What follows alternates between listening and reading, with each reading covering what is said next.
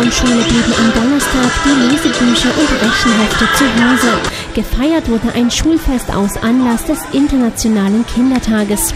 Dabei sorgten verschiedene Stationen und ein Unterhaltungsprogramm für Spiel und Spaß. Auch ein großes Buffet zur Stärkung war aufgebaut.